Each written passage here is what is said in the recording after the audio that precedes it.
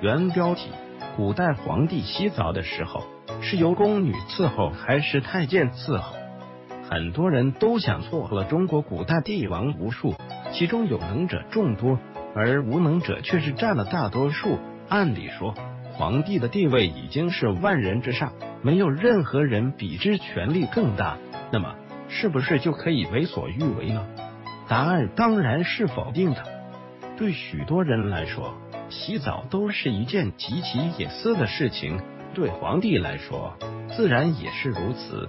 普通人洗澡都要顾及礼义廉耻，男女混浴这样的情况基本上不会发生。皇帝权力这么大，但也不是说就可以不顾及礼仪教诲的。那么问题来了，皇帝在洗澡的时候，到底是让太监在一旁帮忙，还是让宫女在一旁服侍呢？当然是太监了。对于皇帝来说，脸面也是很重要的。正如李世民就是一个极其重视名声的皇帝，唐太宗的一生污点很少，正是因为他时刻注意小心。普通的帝王又如何呢？虽然做不到唐太宗这样每日三省，但也不至于在洗澡这种事上让宫女服侍，一个不小心就会落得一个淫乱的名声。宫中的制度是很严格的，虽然帝王权力无边。但是也是需要注意形象的。如果一不小心把自己的名气搞臭了，虽说享乐，但却遗臭万年，这是绝大多数皇帝不希望的。不希望不代表没有。商纣王、汉成帝都是淫乱的一份子，特别是北齐，更是被称为禽兽王朝。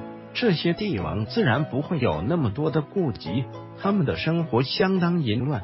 不仅仅是让宫女服侍沐浴这么简单，更甚者会让男女共同裸露着一起沐浴。